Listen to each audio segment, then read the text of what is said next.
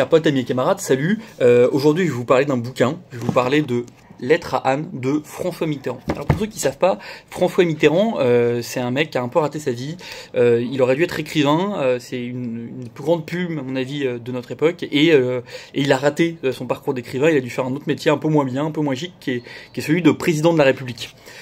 Voilà, on réussit pas tous dans la vie à faire les métiers qu'on veut, mais bon, lui a dû être président de la République par dépit au lieu d'être écrivain. Et du coup, ce bouquin, euh, Lettre à Anne, donc, c'est un, recueil de, lettres euh, qu'il envoyait à sa femme, enfin sa femme. C'était François Mitterrand, hein. donc cette notion de femme est un peu compliquée. Et donc c'est un, recueil de lettres euh, d'amour qu'il envoie à Anne. Et donc il y a toute la vie de François Mitterrand et tous ces amours qui sont écrits dans un seul bouquin. Et c'est magnifique, c'est beau. Alors j'ai pas tout lu parce que faut pas déconner, ça fait quand même 900 pages, je crois 919 si je dis pas de bêtises. Mais c'est incroyable. Mitterrand écrit toujours euh, aussi bien et, et on voit euh, sur ces lettres un petit peu, on devine les événements historiques légèrement, mais surtout ça parle d'amour. Je vous en prends un au hasard. hein. Novembre 1964. Non, je vais pas prendre ça. Truc pas trop long.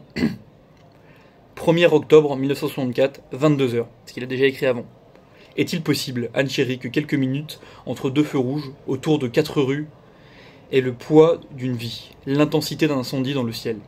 Est-il possible de contenir en soi pareille joie, sans mourir ou sans partir, tout droit devant soi jusqu'à la fin des temps? Est-il possible de supporter, sans perdre le souffle, l'apparition d'un visage possédé de lumière? Sept roses dans ta chambre veillent seules en cet instant pendant que tu es parti dîner. Elles signifient la grâce d'aimer. Quand tout est silence, offrande, don. Quand le sang bat au rythme des modes inconnus, dans la paix infinie de l'âme délivrée.